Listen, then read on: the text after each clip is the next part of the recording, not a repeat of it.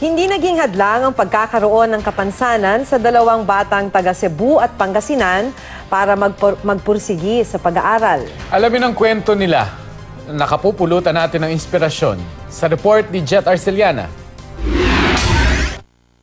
Ipinanganak na bulag ang labindalawang taong gulang na si Nicolay Xiaomei Singkulan pero ang kapansanan niya hindi hadlang sa kanyang pag-aaral. Grade 2 pupil na siya ngayon sa SPED Center sa Lapu-Lapu City Central Elementary School.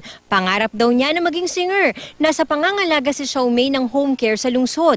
Ibinigay siya rito ng kanyang ina dahil hindi siya nito matustusan ang kanyang pag-aaral at mga pangangailangan. Nagpasalamat ko sa pag-atiman sa pangaman at ka ng sa iyong paglab nga bisan to nga wala siya diri.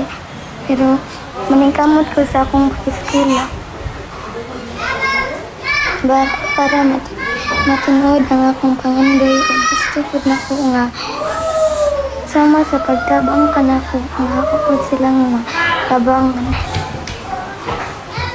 ug gusto ko na ko silang makauban Tatlong taon na raw siyang hindi binibisita ng pamilya pero hindi naman daw siya galit. Sabik na nga siya na makasamang ina at dalawa pa niyang kapatid. bisan o ginana iyang kahimtang na may mga tao nag-love sa iyaha.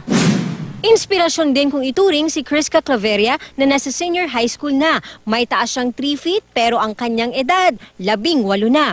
Sa araw-araw na pagpasok ni Criska sa klase, nasusubok niya ang katatagan ng kanyang loob. Wala akong paki sa mga sinasabi nila kung malit ako. Basta nag-aaral at walang ginagawang masama. To the rescue rin naman ang kanyang mga kaibigan. Huwag kayong ganyang nilalait yung isang tao kahit walang ginagawa sa inyo. Yun lang po. Bibo raw si Criska sa recitation at iba pang aktibidad sa klase. Siya rin ang vice president ng kanyang klase. Ang pagiging leader niya ang isa sa mga hinahangaan ko din. Yung skill niya doon, nakukumbinsi niya yung mga bata, kaklase niya. Nagpapasalamat naman daw si Criska sa pagsuporta ng kanyang ina. Mama, Papa, maraming salamat sa suporta sa pag-aaral at tatapusin ko ang pag-aaral to dahil sa inyo po. Mahal na ko sa mama. Jet Arceliana, Nagbabalita, Pilipinas.